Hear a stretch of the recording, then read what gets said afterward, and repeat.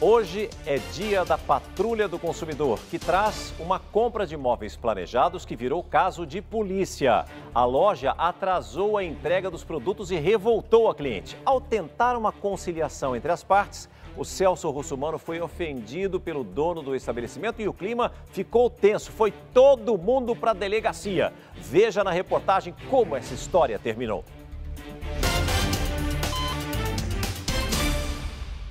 A Patrulha do Consumidor está chegando na rua Monteiro de Melo, zona oeste da cidade de São Paulo, aqui na região da Lapa, para atender o chamado de socorro da Patrícia filha e da Patrícia mãe.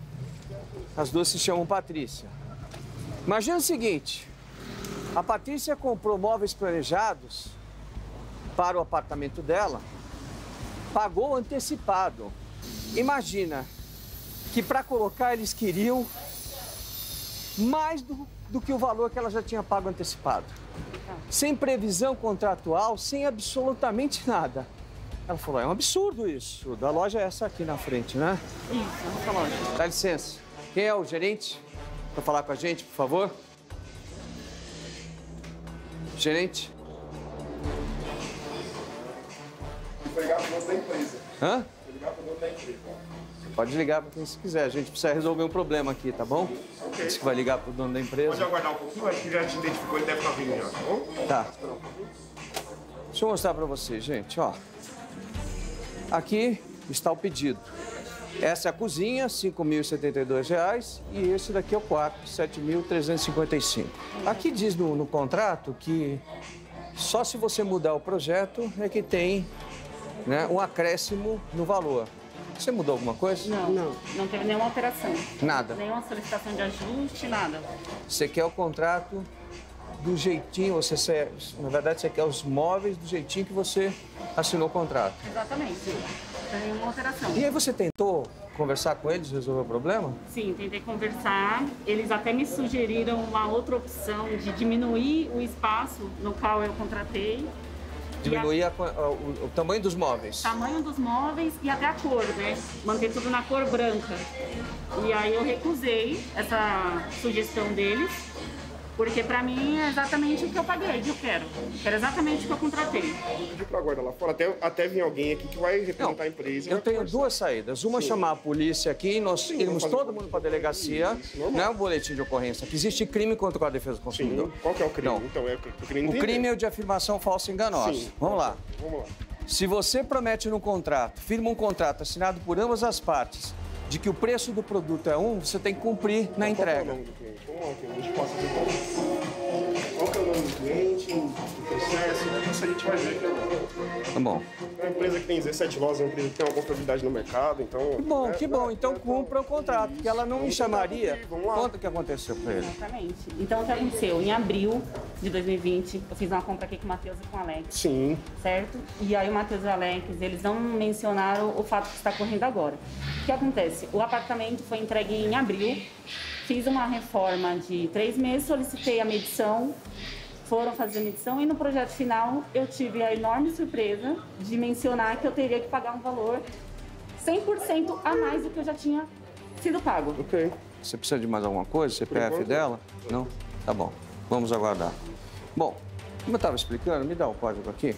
São nulas de pleno direito, entre outras, as cláusulas contratuais relativas ao fornecimento de produtos e serviços que... Celso, posso Ah. falar um minuto? Pois não? O advogado da empresa pediu para vocês se retirarem, porque vocês não têm autorização para fazer isso. Fala para ele vir para cá porque eu vou chamar a polícia. Porque aqui é crime contra o Código de Defesa Tá do ouvindo. Martinelli? Eu vou chamar a polícia. Então você chama a polícia e espera ele aparecer. Não, eu chamo. eu- Aqui existe um contrato que não está sendo cumprido. Isso é uma afirmação falsa e enganosa. Sim. É crime contra a defesa do consumidor. Se ele quiser vir para cá, ele vem. Ele vem. Qual o nome da cliente? Patrícia Patrícia. Marquete Max Lima. Marquete Max Lima. Antes de eu chegar nessa situação, eu já tentei por diversas vezes falar com vocês. Mas eu acho que o correto é esperar o advogado vir, você pode chamar a Não polícia, tem correto. pode fazer o que for. Tem, o correto é cumprir o contrato. Vocês disserem que vão bem, cumprir o Celso, contrato? A gente vai resolver, a gente vai resolver, só que vocês Eu- não têm autorização Eu isso. deixo, mas não importa. Aqui é uma denúncia. Importa, importa. É uma denúncia. É uma denúncia, ela vai entrar, É uma a gente denúncia. vai resolver da melhor maneira possível, mas não é pra filmar, não é pra gravar, vocês não têm autorização. Pode ficar, pode ficar aí. Não, não pode ficar. Não pode ficar. Oi, oi. Fala pro teu advogado vir pra cá, porque você não conhece a lei. Por favor. Tá o quê? Eu te passei. Vamos aguardar aqui. Esse tipo de atitude só depõe contra a empresa. A atitude de vocês, grosseira do jeito que vocês estão, vocês estão sendo grosseiros. Olha, vocês vão agir assim, eu vou sair, vou chamar a polícia e nós vamos conduzir de outro jeito. Pode chamar. Vamos conduzir de outro jeito. Pode chamar. Você é muito grossa, sabia, menina? Você é muito grossa. grossa, Você é muito grossa. É o certo. Você é muito grossa. Vocês estão errados. Vocês estão errados. A gente tá errado? É, a estão gente vai errados. corrigir o erro. Estão errados. Mas Agora, pode, pode- pode subir que eu vou errado sair. Pode subir a porta que eu vou sair. Vocês querem que eu chame a polícia? Vocês querem depor contra a imagem da loja? Vamos, vamos depor, não tem problema nenhum. Quem vai querer entrar numa loja que não cumpre contrato? Vamos chamar a polícia aqui. Polícia Militar Emergência. Boa tarde, é o Celso Russomano que está falando. Eu estou, estou gravando uma reportagem sobre direito do consumidor. Existe aqui crime contra a defesa do consumidor. Eu estou aqui na Lapa. O senhor está precisando de um apoio ali, É, né? e como existe crime contra a defesa do consumidor, eu estou solicitando uma viatura da Polícia Militar, por favor. O senhor vai aguardar a viatura aí na via pública, né? Vou, vou aguardar. Tá, foi solicitado aqui o apoio do senhor, pode com a Polícia Militar. Tá, muito obrigado, viu? Nada, imagina. Até logo. Boa tarde, gente. Tudo bem? Como vai, Cabo? Tudo bem? Senhora? Quem está no comando da viatura? Sou eu. É. Cabo, é o seguinte. Nós estamos aqui nessa Ritmo Móveis Planejados, atendendo o chamado de uma consumidora. Por, por gentileza, Patrícia, ela é a vítima.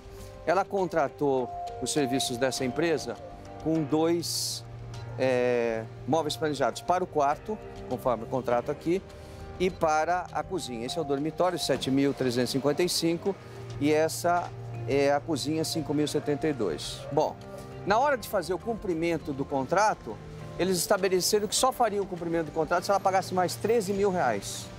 Isso caracteriza uma afirmação falsa e enganosa. Então, eu acionei a viatura da Polícia Militar para a gente conduzir para a delegacia do consumidor. Eles já eles já estão para que eles façam o cumprimento do contrato ou então eles respondam na, na, na polícia por, por afirmação falsa e enganosa. Sim, claro. Tá bom? O gerente tem? Deve estar ali. O advogado da empresa tá a caminho, tá? Bom. Pra resolver. Ele é o gerente. Vocês, tá? Não, ele não tá. Quem é o responsável? Ele deu uma saída, acho que ele foi no banco. O responsável é ele, ele deu uma saída. Não, peraí. Tudo bem. O responsável é ele, quando ele sai, ele deixa alguém.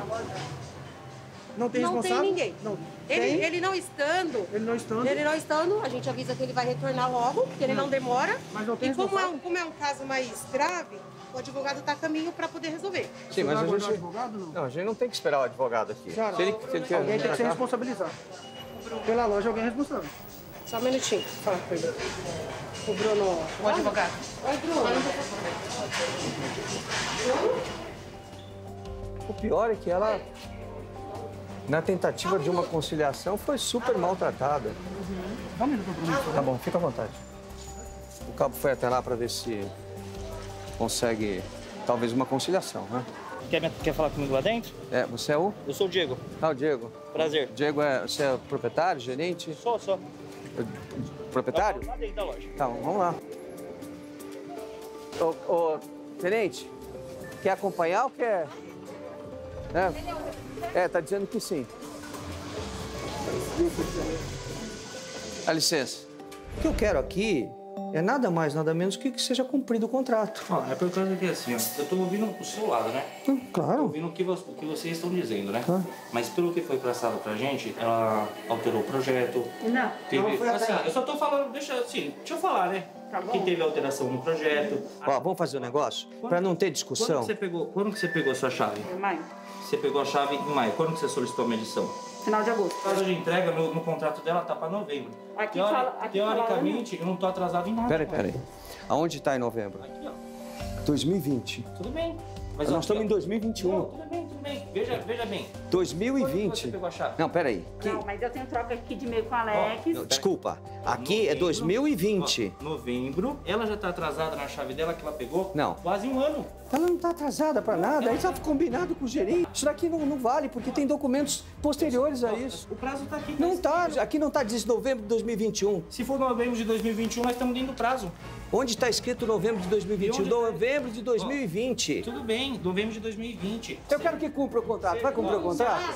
Vai cumprir o contrato? Doutor, Se vai cumprir o contrato, tá tudo bem. Doutor, eu te ouvi até agora, você não consegue me ouvir cinco minutos sem, falar? Vamos lá. Você não consegue escutar? Você só quer falar? Mas que você não deixa ninguém falar? Primeiro me respeite. Eu te respeito. Me Então respeite. Baixa a voz comigo. Me respeite. Baixa a voz Me comigo. respeite. Baixa a voz comigo. Você não tá me respeitando. Baixa a voz comigo. Bom, Eu tô te vamos pra delegacia. Vamos pra delegacia. Aqui existe crime contra Ô, o doutor, posso falar com você? Só- Tá bom. Continua falando. Continua falando. Vamos pra delegacia. Tenente, não tem, não tem jeito. Não tem jeito. Tem que ir pra delegacia, não. Ele é intransigente, olha, olha o que ele quer. Previsão de entrega, novembro de 2020. Ela tá dizendo, ele está dizendo que tem quem está inadimplente é ela. Ele está dizendo que novembro de 2021. Onde está novembro de 2021? Novembro de 2020. Então tá bom. Como é que ele chama mesmo? Eu não sei, ele não me disse o nome.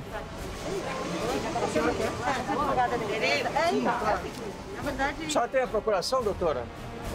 Então, por favor, apresente. Apresente a procuração. Deus do céu, mesmo que eu não tivesse, eu posso pegar uma procuração, eu tenho Então, prazo mas aí para conduz isso. para a delegacia de polícia e lá a senhora apresenta a procuração. Não, Fernanda, eu vou pontuar um, detalhe antes, porque eu não consegui nem falar. Sim, pode falar.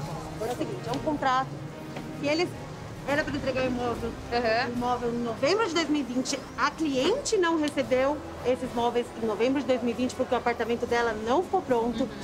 Na mesma medida em que a gente tem a obrigação de entregar o produto nessa data, ela também tem a obrigação de receber. E existe um artigo de lei que imputa a quem está em mora Não existe mora, doutora. A referentes- mora não existe, ela pagou antecipado. Então, eu só, só está faltando com a de verdade. Só está eu não faltando estou... com a verdade. O senhor leu o artigo 400 do Código Civil. Faltando com a verdade. Bom, então, como eu estava falando, existe esse- essa previsão legal no sentido de que quem está em mora arca com os riscos. Teve pandemia, teve lockdown em abril, como que ia ser previsto isso antes? Não, não foi previsto. Isso se aplica sim também para as relações que estão sobre a Quando existe Então não tem crime, não tem nada.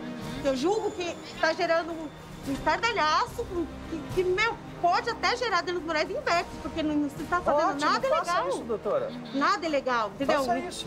E várias vezes eu recebi e-mail pedindo explicações, eu não entendo pra que, que precisa de tudo isso por Os uma e-mails foram respondidos. De- Dessa cliente eu não recebi e-mail, Uhum. mas de Tá. todas que a gente recebe e-mail, eu mando essa Tá. explicação jurídica detalhadamente. Tá. A senhora então é representante da empresa agora Eu sou advogada. momento, certo?